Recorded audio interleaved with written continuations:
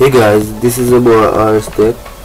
Today I'm going to show you how to get Gmail notification directly on your PC. So first of all, you're going to go to your Gmail account.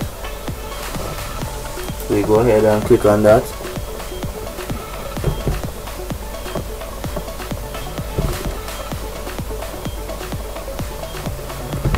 So you know guys, you're going to go to your gear box there and then you go to settings and here now guys you're going to go ahead and scroll down. And you will see click here to enable desktop notification for Gmail.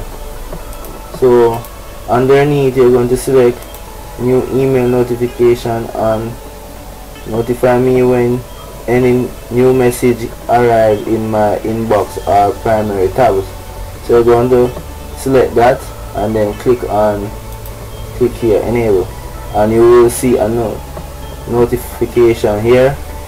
You're going to select allow. So go ahead and select that. And that's it.